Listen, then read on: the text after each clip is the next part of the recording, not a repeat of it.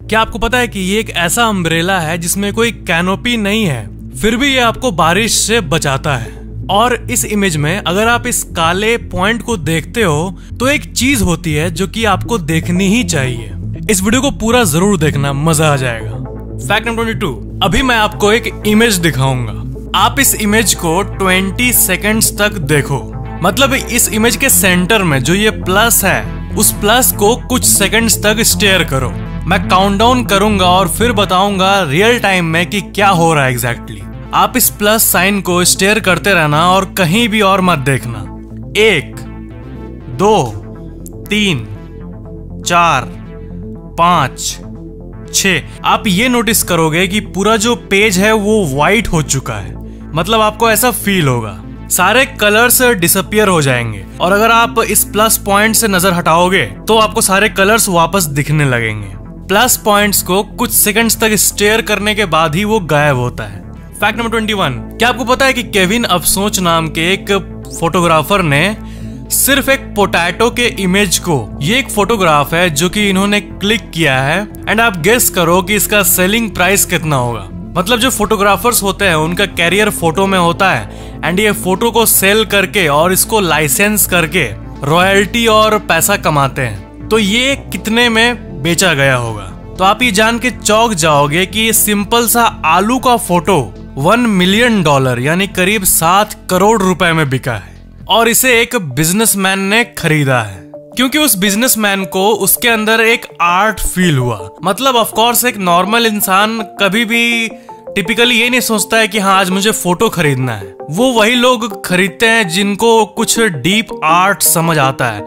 या ऐसा कोई जो डीप आर्ट में फैसिनेट होते हैं, वो लोग खरीदते हैं। एंड जो बिजनेसमैन जिसने ये लिया है, वो भी आर्ट को ही देख के लिया।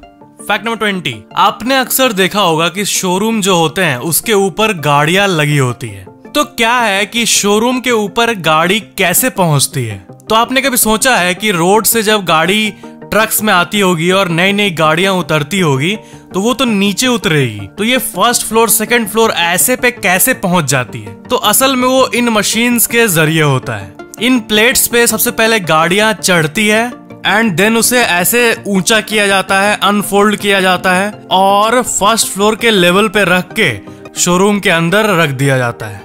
तो ये था वन ऑफ़ दोज कंफ्यूजन जो कि बहुत लोगों को होता है। तो ऐसी गाड़ियों को इतने ऊपर शोरूम में रखा जाता है। फैक्ट नंबर नाइनटीन क्या है कि जो ये लेदर बैग्स होते हैं, वो तो आपको पता ही हुआ कि इन्वायरमेंट के लिए कितने खराब हैं। तो मेक्सिको के दो एंटरप्रेन्योर्स मिल के एक ऐसा लेदर बनाए हैं, जो कि बिल्कुल एक लेदर की तरह दिखता है। जैसे कि आप अपने स्क्रीन पे देख पा रहे हो। लेकिन ये लिटरली कैक्टस जो कि ये रेगिस्तानों में पाया जाता है, इससे बनाया गया है। और ये देख के लगता ही नहीं बिल्कुल भी कि ये मतलब देखो, इसे लग रहा है कि रियल लेदर है। बट इन एंटरप्रेन्योर्स ने कैक्टस लीव से लेदर को बना डाला। एंड इससे बिलियंस ऑफ़ एनिमल जो कि मारे जाते हैं, वो बच जाएँगे। तो ये एक बहुत ही अमेजिंग सी डिस्कवरी है, जो कि रियली ह्यूमैनिटी के लिए बहुत काम की है। फैक्ट नंबर 18 आपको तो पता ही होगा कि स्टार फ़िश जो होते हैं, वो कुछ ऐसे दिखते हैं। बट क्या आपको पता है कि कभी कभी कुछ स्टार फ़िश ऐसे दिखने लगते हैं? तो ये स्टार फ़िश होते हुए भी ये ऐसे शेप क्यों हो गए?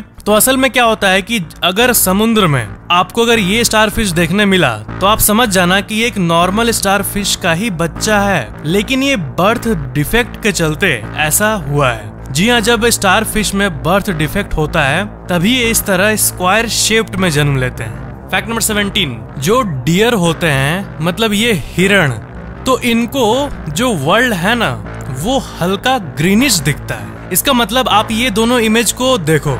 हमें ये दिखता है टाइगर हमें नॉर्मली ऐसा दिखता है। लेकिन डियर जो होते हैं, वो टाइगर को कुछ ऐसे देखते हैं। एंड क्योंकि पेड़ का हरा और ये हरा मैच हो जा रहा है, इनका विजन तो ये देख ही नहीं पाते कि आसपास टाइगर है। एंड यही कारण है कि इतने सारे डियर्स को टाइगर्स खा जाते हैं। वो जल्दी टाइगर्स को डिटेक्ट नहीं कर पाते हैं। मतलब नेचर का ऐसा सिस्टम ही है। जिसके चलते ये जो पूरा एनिमल का सिस्टम है, ये पॉसिबल हो पाता है। नेचर की इच्छा से। एंड नेचर की इच्छा से ही डियर्स को ऐसा बनाया गया है कि ये इजिली टाइगर्स को स्पॉट नहीं कर पाए। फैक्ट नंबर 16 जो ये नॉर्थ डकोटा जगह है, यहाँ पे 1966 में स्नोफॉल हुआ था। एंड इसे एक ऐसा स्नोफॉल माना जाता है जिसको कभी भी फॉरगेटन नहीं किया जा सकता है। ये वर्ल्ड के सबसे बड़े स्नोफॉल्स में से एक है। एंड आप इस इमेज को देखो, ये इतना एक्सट्रीम है कि कुछ कुछ टॉप जगहों पे जो ये बिजली के लंबे लंबे पोल्स होते हैं, उसके टॉप तक पूरा स्नो पहुँच गया है। और जैसा कि आप इस इमेज को देख रहे हो, ये इमेज डिपिक्ट करता है उस स्नोफॉल के डेंसिटी को। फैक्ट नंबर 15 जिस तरह बैक्टीरिया और बाकी छोटे छोटे क्रिएचर्स हमारे आसपास पाए जाते हैं, वैसे एक हाइड्रोथर्मल वॉर्म होता है। जिसके बारे में साइंटिस्ट्स को कम ही पता है बट ये वर्ल्ड के सबसे मिस्टीरियस जीव में से एक है। मेन बात ये है कि ये डीप सी यानी गहरे समुद्र में पाया जाता है। और ये नॉर्मली तो आपको इसका शेप नहीं दिखेगा बट अगर आप इसको समुद्र के गहराई से निकाल कर माइक्रोस्कोप में देखोगे तो ये आपको कुछ ऐसा दिखेगा। मतलब ये इसको देखो एक, जैसे आँख होता है, मुँह होता है, एक एक, बोले तो एक डरावना सा क्रिएचर की तरह दिखता है। एंड छोटे स्केल पे जो साइंटिस्ट रिसर्च करते हैं, उनमें से ये सबसे मिस्टीरियस क्रिएचर्स में से एक है। फैक्ट नंबर 14 आपने द मैट्रिक्स मूवी के बारे में तो ज़रूर सुना होगा। एंड मैट्रिक्स मूवी में जो बैकग्राउंड में ये कोड चलते रहता है, ये इसके बारे में तो आप लोगों में से कुछ लोग ज़रूर अवेयर होंगे। एंड असल में ये बहुत डीप चीज़ है। इसे बहुत लोग समझते हैं कि ये प्रोग्रामिंग को डिपिक्ट करता है। बट ये असल में और कुछ नहीं, बल्कि सुशी का रेसिपी है जापानीज में। एंड द मैट्रिक्स के प्रोडक्शन डिज़ाइनर सेमन विटले ने खुद इस बात को कहा है एक इंटरव्यू में। इन्होंने अपने वाइफ के जापानीज कुकबुक से सुशी का रेसिपी निकाला। एंड ये असल में वो एक नॉर्मल सा रेसिपी है बट मूवी में ये इतना कूल लगता है। ऐसा लगता है कि कुछ रैंडम डिजिट्स एंड कुछ मिस्टीरियस सा फॉल हो रहा है। फैक्ट नंबर थर्टीन ब्राज़ील की एक छह साल की लड़की है एंड इसके बारे में कई आर्टिकल्स आए हैं जो कि आप अपने स्क्रीन पे देख सकते हो। इसने एक बहुत ही अमेजिंग सा काम किया है। इसने सात एस्ट्रॉइड्स को डिस्कवर किया है नासा के लिए। मतलब एक सात साल की बच्ची नासा के लिए सात नए एस्ट्रॉइड्स को टेलीस्कोप के थ्रू खोजा है, जो कि उस उम्र में बहुत मुश्किल एंड अमेजिंग सी बात है। बट इस लड़की ने ये किया है। इसका नाम है Nicole Oliveira fact number twelve Saudi Arabia में एक एयरपोर्ट है किंग फैद इंटरनेशनल एयरपोर्ट और ये एक एयरपोर्ट है, ठीक है? तो आप मुझे क्वेश्चन का आंसर दो कि क्या कोई एयरपोर्ट एक पूरे शहर से बड़ा हो सकता है? तो क्या हो अगर मैं बोलूँ कि एक एयरपोर्ट ऐसा है जो कि पूरे मुंबई शहर से भी ज़्यादा बड़ा है? मतलब मुंबई शहर का जो साइज़ है, उससे ज़्यादा बड़ा सिर्फ़ एक एयरपोर्ट है, सऊदी अरेबिया में। ये सुनने में इम्पॉसिबल लगता है बट ये ट्रू है। इस एयरपोर्ट का एरिया जो है, वो 780 स्क्वायर किलोमीटर है। और मुंबई शहर का जो एरिया है, वो 603.4 स्क्वायर किलोमीटर है। डैट्स गजब।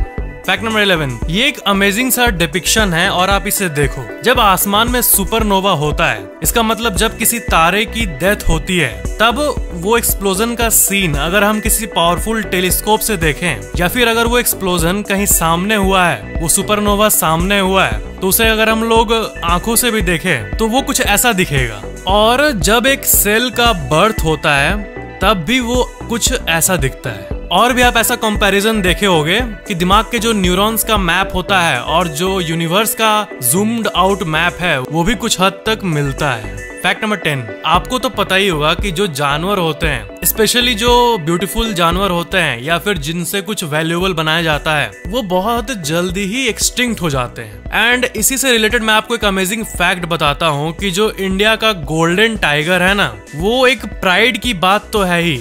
लेकिन ये कंसर्न भी है, क्योंकि आपको यकीन नहीं होगा कि अभी इस टाइगर का पॉपुलेशन जो है, वो सिर्फ़ और सिर्फ़ तीस रह गया है। मतलब सोचो किसी प्रजाति का पॉपुलेशन जो है, वो थर्टी है, जो कि बहुत ही कम है।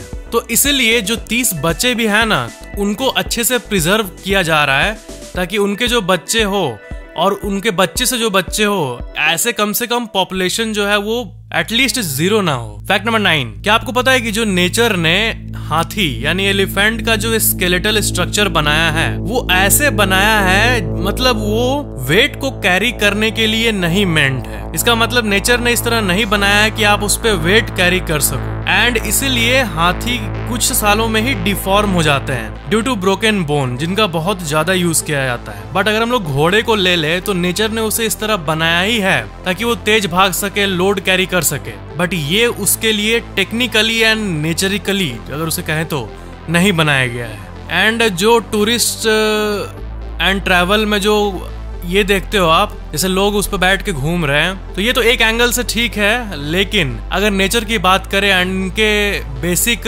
स्केलेटल स्ट्रक्चर की बात करें तो वो उसके लिए नहीं बनाया गया है। फैक्ट नंबर एट क्या आपको पता है कि एक तरह का अम्ब्रेला होता है, जिसे कहते हैं एयर अम्ब्रेला एंड इसके ऊपर कोई ऊपर वाला पार्ट नहीं होता है। यानी कोई कैनोपी नहीं होता है, फिर भी ये आपको बारिश से बचाता है। पता है कैसे? एयर फ्लो की मदद से।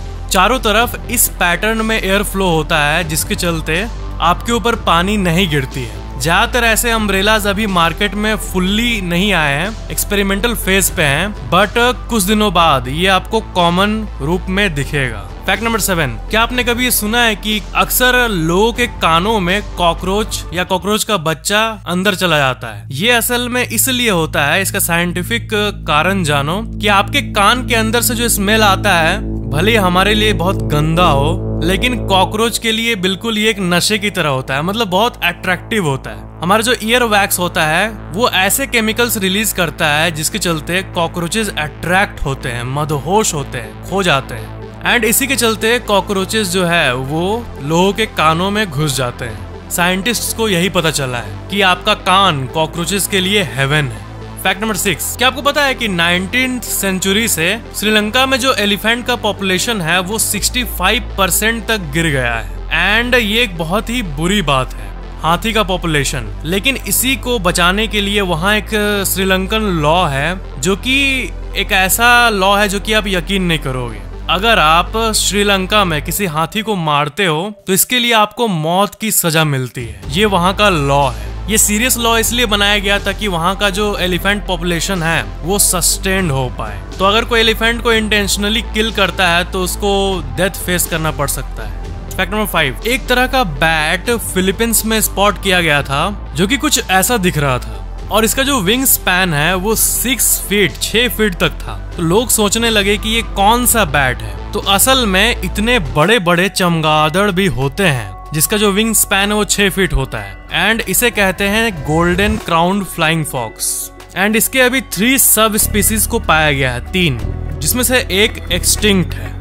फैक्ट नंबर फोर जो प्लेइंग कार्ड्स होते हैं, उसमें एक तरह के कार्ड्स आते हैं, बहुत ही यूनिक तरह के, जिसको मैट ब्लैक कार्ड्स कहते हैं। एंड ये ऐसे कार्ड होते हैं जो कि आपके सामने वाला जो है, वो इसको नहीं देख पाएगा कि आपके पास कौन सा कार्ड है। जब तक कोई उस कार्ड को सामने से डायरेक्टली नहीं देखेगा, तब तक उसका रियल कंटेंट समझ नहीं आएगा। मतलब अगर कोई साइड से देख रहा होगा उस कार्ड को, तब वो कुछ ऐसा दिखेगा ब्लैक कलर का एंड उसको समझ नहीं आएगा। उसको डायरेक्टली देखने पे दिखेगा, और अगर आप उसको कहीं भी, किसी भी और एंगल से देख रहे हो तो बिल्कुल भी विजिबल नहीं होगा, पूरा का पूरा ब्लैक दिखेगा। फैक्ट नंबर थ्री क्या आपको पता है कि व्हाट्सएप के दो बिलियन से भी ज़्यादा यूज़र्स हैं बट इसका जो स्टाफ है, वो सिर्फ़ और सिर्फ़ पचास है। क्या है कि जब इतने सारे यूज़र्स की बात आती है तो कोई और कंपनी को अगर ले लें तो इतने काउंट का जो कंपनी होता है, उसमें मतलब बहुत ज़्यादा नंबर ऑफ़ एम्प्लॉयज़ होते हैं। बट ये बहुत एक अमेजिंग बात है कि इतने फ़ेमस ऐप व्हाट्सएप जिसके दो बिलियन यूज़र्स हैं, उसमें बस पचास एम्प्लॉय काम करते हैं और सब कुछ मैनेज करते हैं। That is really amazing fact number two Luxe Lacquer नाम का एक नेल पॉलिश है और इसका जो प्राइस टैग है वो 250 के डॉलर है। यानी करीब दो करोड़ रुपए।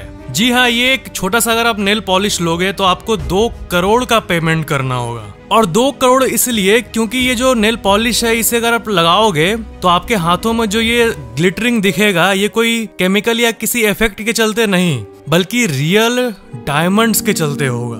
ये लॉस एंजलिस में बेस्ड एक लग्जरी ज्वेलरी डिज़ाइनर है, जिसका नाम है एज एजर्ट्योर एंड इसी ने इस प्रोडक्ट को लॉन्च किया था। Fact number one South Africa के एक पॉलिटिशियन थे शेकेडे पिस्टो एंड इनकी एक बहुत ही फेवरेट कार थी 1980 की मर्सिडीज एंड ये एक नॉर्मल जो कार को हम लोग पसंद करते हैं, वैसी नहीं, बल्कि एक बहुत ही दिल के करीब। एंड कुछ साल पहले साल 2020 में इनकी मृत्यु हुई थी। एंड तब उनका एक डेथ विश था। मतलब ये अपने मर्सिडीज को इतना पसंद करते थे और इनको ये कार इतना पसंद था कि इनका यही इच्छा था कि इनके मरने के बाद इसी मर्सिडीज के अंदर उनके लाश को रख के इनका क्रिया किया जाए। एंड आखिरकार इनका यही विश पूरा किया गया। तो ये थे आज के फैक्ट्स वीडियो को लाइक शेयर एंड कमेंट ज़रूर करना और चैनल को सब्सक्राइब करके बेल आइकन ज़रूर ऑन कर लेना। Thank you so much for watching this video